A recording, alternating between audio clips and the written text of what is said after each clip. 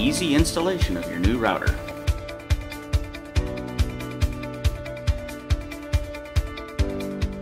Step 1.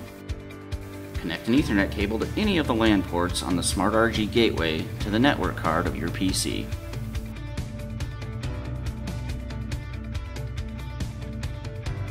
Step 2. To connect the broadband device, connect one end of the Ethernet cable to the WAN port of the Smart RG gateway and connect the other end of the cable to the broadband device.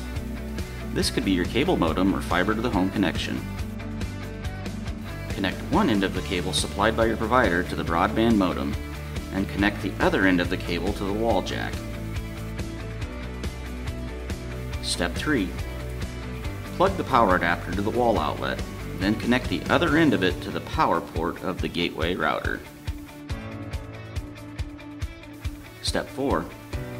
Turn on the unit by pressing the on-off button on the side of the gateway.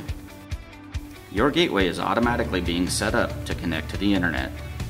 This process may take a few minutes to complete before you can begin using your internet applications. If you are unable to connect to the internet, confirm that all cable connections are in place and the gateway's power is turned on. If you're having issues connecting your router, please contact one of our offices. The Elkhorn office is 712-764-6161. The Walnut Avoca office is 712-784-2211. At Marne Elkhorn, we strive to give you the best possible service. Thank you for choosing Marne Elkhorn.